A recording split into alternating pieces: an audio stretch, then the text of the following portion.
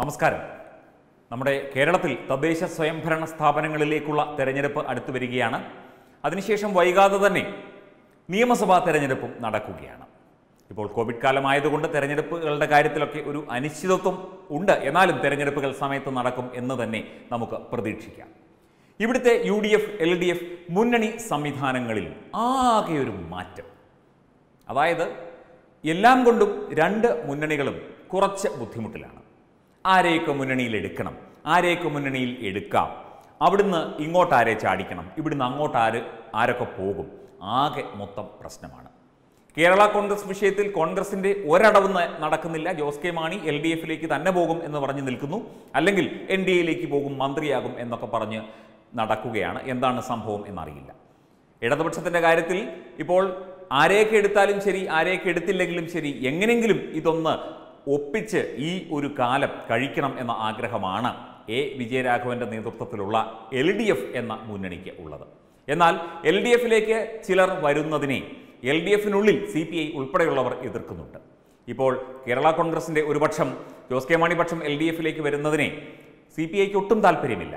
C P I അല്ലെങ്കിൽ തന്നെ എന്തഭിപ്രായം പറഞ്ഞാലും സി പി എം വലിയേട്ടൻ മനോഭാവം വിടുന്നുമില്ല.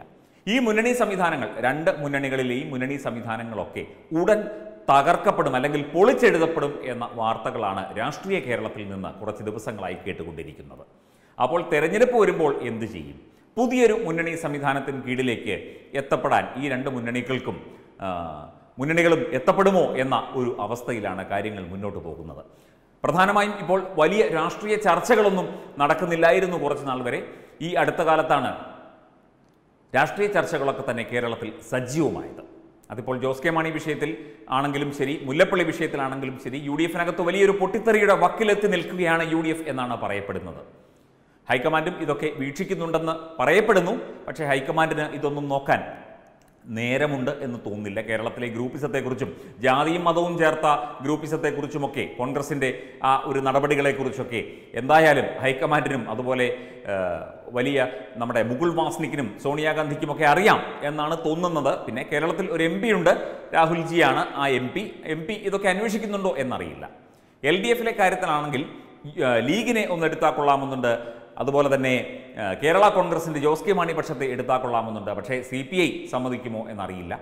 അങ്ങോട്ട് ചാടുന്നു ഇങ്ങോട്ട് ചാടുന്നു. പിന്നെ എൽ ഡി എഫിൽ ഇപ്പോൾ നിൽക്കുന്ന ഗണേഷ് കുമാർ യു ഡി എഫിലേക്ക് പോകുമെന്ന് പറയപ്പെടുന്നു. യു ഡി എഫിൽ തന്നെ നിൽക്കുമെന്ന് പറയപ്പെടുന്നു. ആകെ മൊത്തം ഇവിടുത്തെ മുന്നണി സംവിധാനങ്ങളൊക്കെ തന്നെ താറുമാറായിരിക്കുകയാണ്. ഈ ഒരു അവസരം അവസരം കേരളത്തിലെ N D A B J P നയിക്കുന്ന എൻ ഡി എ മുതലെടുക്കേണ്ടതാണ്. അതിനുള്ള ശ്രമങ്ങൾ തുടങ്ങിയോ എന്നുള്ള കാര്യം അറിയില്ല. രാഷ്ട്രീയമല്ലേ എന്തായാലും ഒരവസരം വരുമ്പോൾ മാത്രമേ അതനുസരിച്ച് ഒരു തീരുമാനമെടുക്കാനും അത് ഗുണകരമായി മാറ്റാനും കഴിയുകയുള്ളൂ. എന്തൊക്കെ വന്നാലും ജനങ്ങൾ ഇതൊക്കെ കാണുന്നുണ്ട്. ജനങ്ങൾ വോട്ട് ചെയ്തെങ്കിൽ മാത്രമേ വിജയിക്കൂ എന്നുള്ളതാണ് വാസ്തവം. തദ്ദേശ ഭരണ തദ്ദേശ സ്വയംഭരണ സ്ഥാപനങ്ങളിലേക്കുള്ള തെരഞ്ഞെടുപ്പ് അതിൽ ഇപ്പം അത് വിട്ട അത് നമുക്കൊന്നും വിടാം. നിയമസഭാ തെരഞ്ഞെടുപ്പിൽ തന്നെ വലിയ ഒരു പ്രതീക്ഷയോട് കൂടിയാണ് ഈ ബി ജെ പി നയിക്കുന്ന എൻ ഡി എ മുന്നോട്ട് പോകുന്നത്.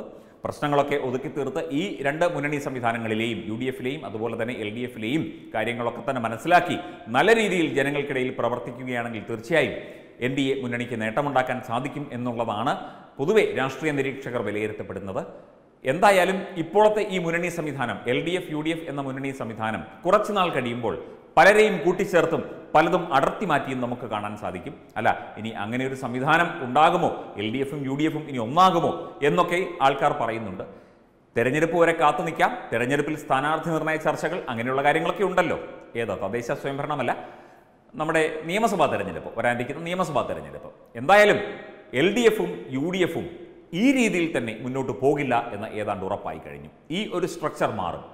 കാരണം സ്ഥാനവും മോഹവും ലാഭവും ഒക്കെ നോക്കി ഈ ചെറുമുന്നണികളും കുറുമുന്നണികളും ഈർക്കിൽ പാർട്ടികളുമൊക്കെ അവിടെയും ഇവിടെയും തലപൊക്കുന്നു. ഇതെല്ലാം കൂടിച്ചേർന്ന് എന്താകും അവസ്ഥ? കേരളത്തിലെ ജനങ്ങളുടെ അവസ്ഥ എന്താകും? എന്ത് മുന്നണിയായാലും എന്ത് മുന്നണി ഭരിച്ചാലും ആര് ഭരിച്ചാലും എന്ത് ഭരിച്ചാലും കേരളത്തിലെ ജനങ്ങളുടെ ജീവിതം എന്താകും? അവരുടെ അവസ്ഥ എന്താകും എന്ന കാര്യം മാത്രമേ സംശയമുള്ളൂ. ഏതായാലും മുന്നണി സംവിധാനങ്ങളിൽ പ്രശ്നങ്ങളൊക്കെ വരുന്നതിന് മുൻപ് അല്ലെങ്കിൽ പുതിയ മുന്നണി സംവിധാനങ്ങളിലേക്ക് എൽ ഡി എഫും യു ഡി എഫും കടക്കുന്നതിന് മുൻപ് എല്ലാ പാർട്ടികൾക്കും ഈ രണ്ട് മുന്നണിയിലുള്ള എല്ലാ പാർട്ടികൾക്കും എല്ലാവിധ എല്ലാവിധ ആശംസകളും അഭിവാദ്യങ്ങളും അർപ്പിക്കുന്നു. ഇങ്ങനെ തന്നെ ഈ മുന്നണിയിൽ നിങ്ങൾ തുടരുകയാണോ? അതോ ഇനി അപ്പുറത്തോട്ട് ചാടുമോ? പുതിയ മുന്നണി ഉണ്ടാക്കുമോ? എന്തായാലും എല്ലാ കാര്യങ്ങളും നമുക്ക് കാത്തിരുന്ന് കാണാം.